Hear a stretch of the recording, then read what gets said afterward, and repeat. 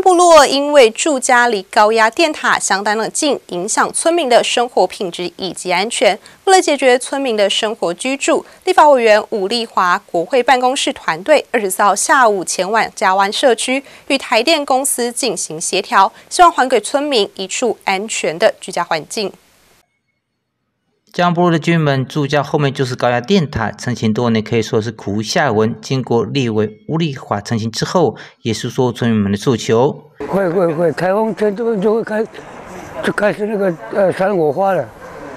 山火花以前以前就经常叫救护车啊，把救护车就说那个那个没事，他说最多只是一说打下来没有，他的辐射是稍微高，辐射稍稍稍稍微高了一点这样子。会啊，会有感觉，会感觉会不会它会不会掉下来，就是倒塌什么的。然后后面后面也是会有那种土石流什么的，会不会用到它，会不会倒下来这样？然后就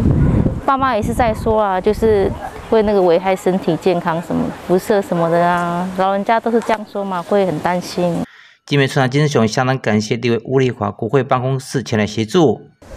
那经过到呃吴丽华。助理也在现场，以及部落会议主席啊，一些呃乡公所的科长来会勘。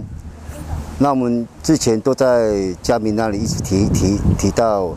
他们都没智商协议都没有通过，卡在我们这边景美村，包含三站嘉湾，沿路到秀林。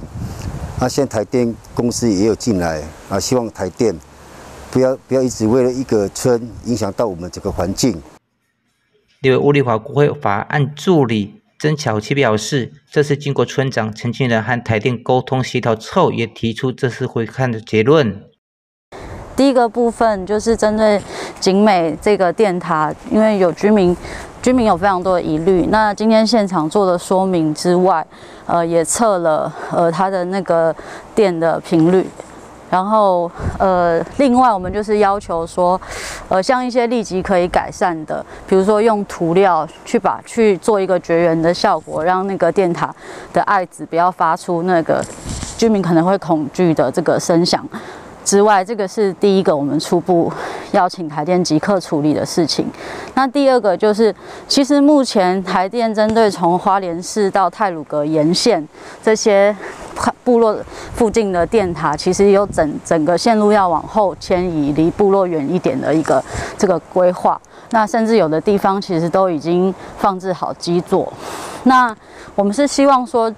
当然，今天的这一座电台也在他们预呃，就是预计要迁移的呃目标之中。那我们是希望说，赶快启动，至少这整个要被这这个新的规划工程可能会牵涉到的部落，赶快去举办一个说明会，让部落了解有一个这样的工程规划。那如果